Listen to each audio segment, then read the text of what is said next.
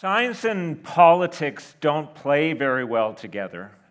Sometimes it seems like there's an ocean between them, even though we would all agree that public policy ought to be based on the very best science available. But we know it doesn't happen.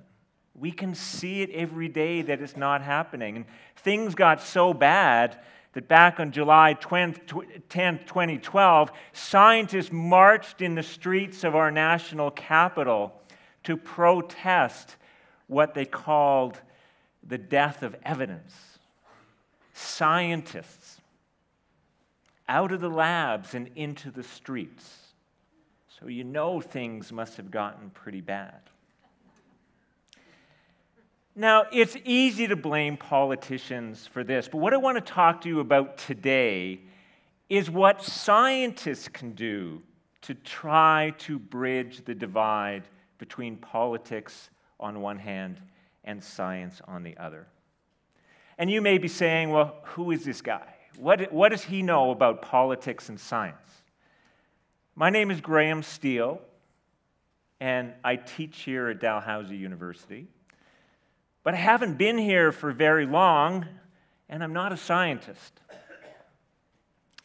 For 15 years be- before I came to Dalhousie, I was in politics.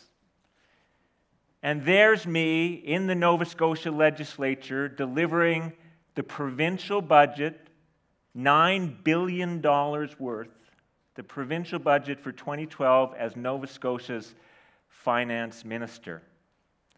So during my time in politics, during my 15 years, I learned a lot about how politicians think. I know what's going on inside their head because I used to be one myself.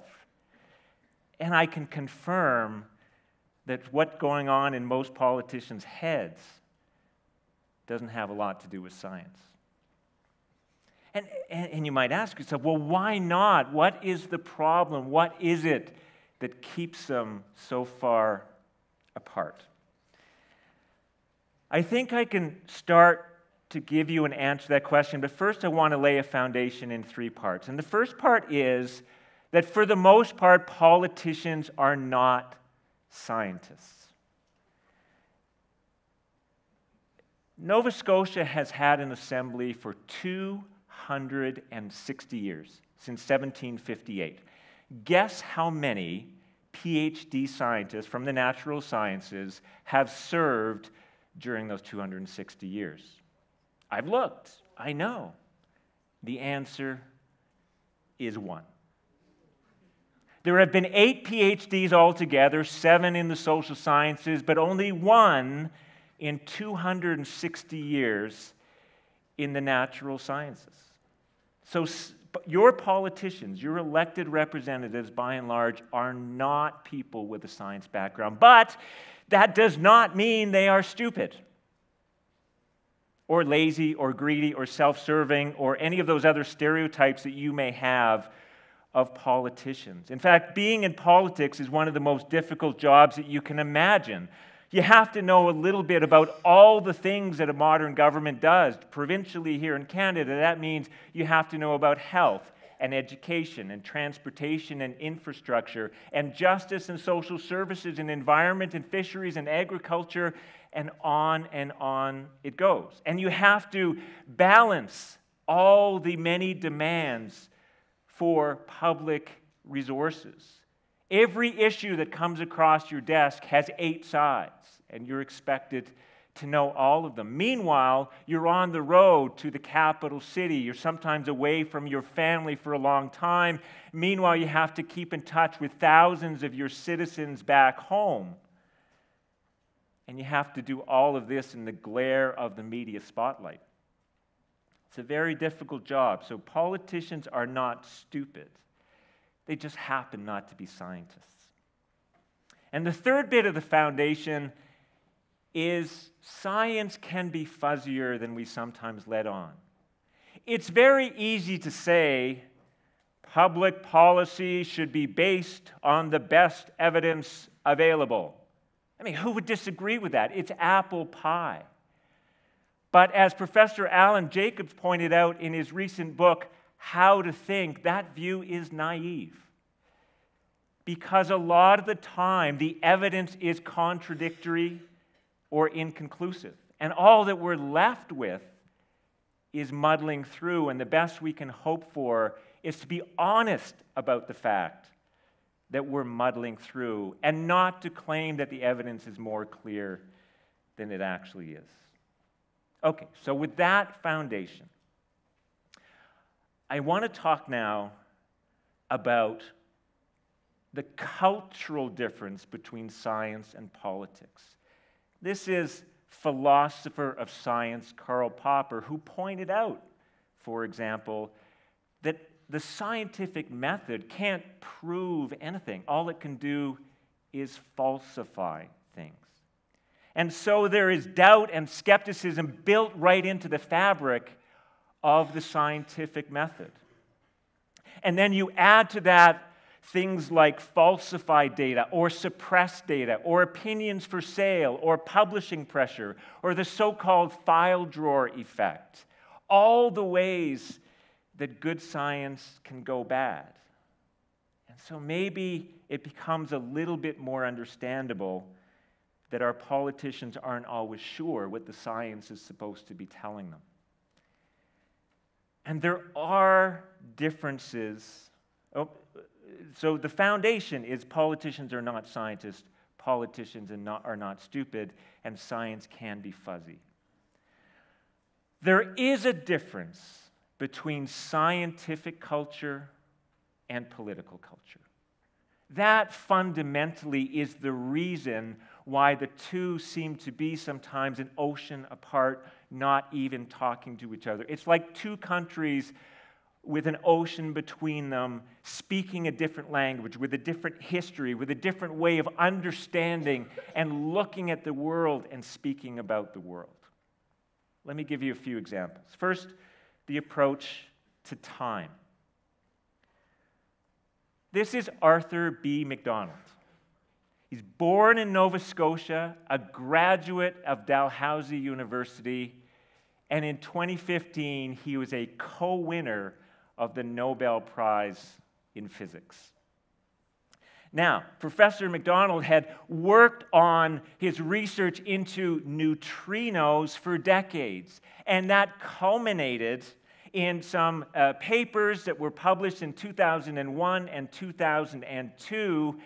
And it took 13 years for those seminal papers to be digested and analyzed and for the Nobel Prize to be awarded. And in scientific terms, that was fast. And meanwhile, Canada had had five elections and four prime ministers. So science and politics move at different speeds because in politics, the crises erupt now, and you have to make decisions now, and you have to deliver public services now, and you have to win an election soon, if not now.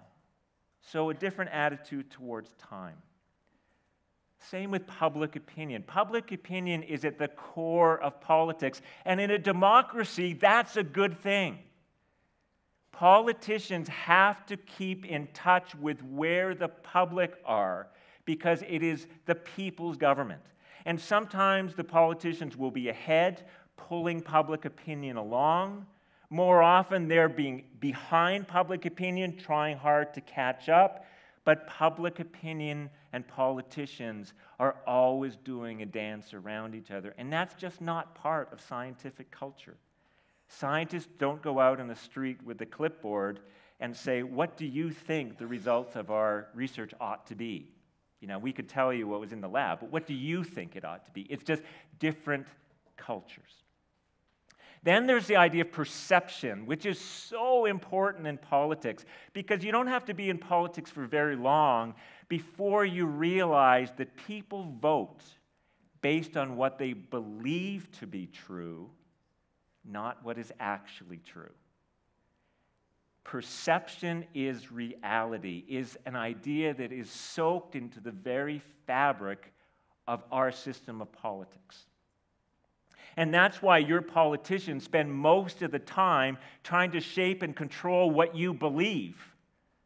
whether it's true or not. And you can see right away how different that is from scientific culture. And finally, I'll mention negotiation. Negotiation, compromise, balancing competing interests is the very soul of politics. That's what politics is. That's what you do when you're a politician. There are limited social resources, and you are allocating them in a way that the public can find acceptable. The authoritative allocation of scarce resources, and you do it with negotiation and compromise and dealing and balancing with different interests. And again, that is not at all the way that good science is done. So there are some very significant differences between scientific and political culture. How can a scientist have more of an impact on public policy?